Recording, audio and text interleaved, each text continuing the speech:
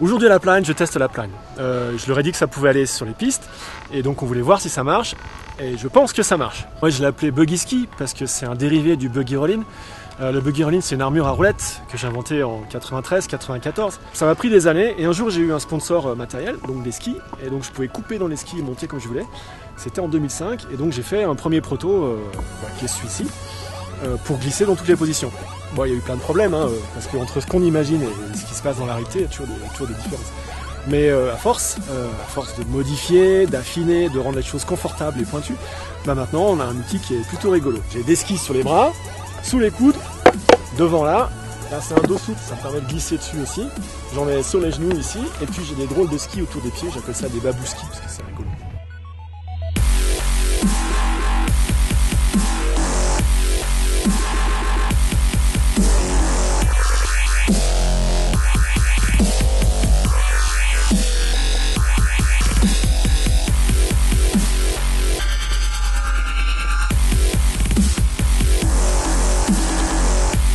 Pour moi, c'est euh, sur la neige, euh, ce sera difficile de faire un truc euh, plus intéressant. Par la variété des sensations, la variété des positions, et puis encore une fois, tout doucement, c'est marrant, très vite, c'est marrant. Voilà, ça passe à peu près partout.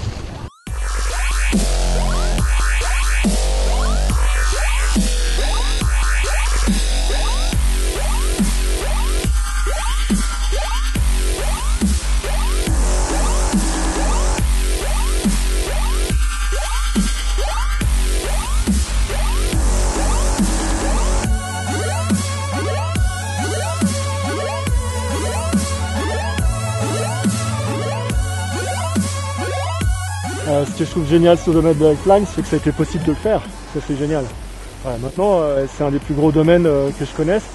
C'est un de mes préférés aussi. Je venais skier là quand j'étais tout petit avec l'école et c'était les plus belles sorties qu'on faisait là, quoi.